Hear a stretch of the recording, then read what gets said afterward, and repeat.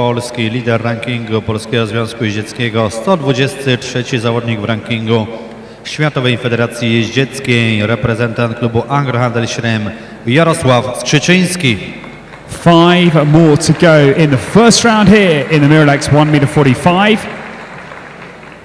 Eight clears at this point. Now Polish champion Jaroslav Szczecinski underway with Inferno. Dosiada w tym konkursie, konkursie ośmioletniego Inferno po Ogierze Incolor. Konia tego e, wyhodowali Państwo Małgorzata i Tomasz Siergiej. Zawodnik coraz częściej startuje na nim w coraz to trudniejszych konkursach. W styczniu był na nim czwarty w konkursie zaliczanym do światowego rankingu na zawodach w Neustadt-Dozy.